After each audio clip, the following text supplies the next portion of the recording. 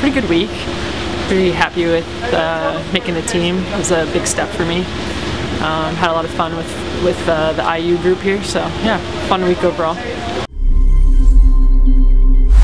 But yeah, so when I came back in September, um, sat down with Coley and we kind of just like totally reach or just changed my training. Um, and so we kind of decided that you can't really uh, can't really compare this season to any of the seasons I've done before because we're just doing some totally different stuff.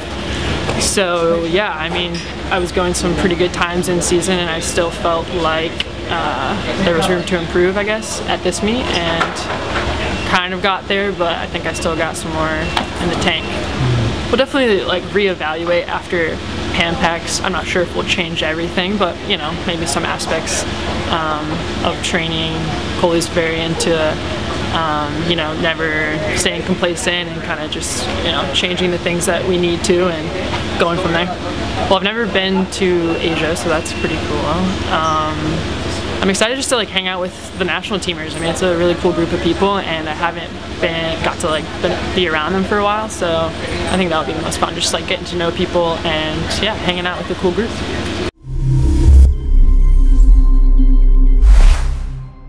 Do I train with the guys? Yeah, uh, we train with like a small group of uh, the college swimmers and then a couple post grads in there. Yeah. Do you like training with guys? Yeah, I'm used to training with the guys. Uh, so I swam at Arizona, and we had a mixed, like, combined program. So uh, yeah, I've been, I like, I enjoy their company, I guess.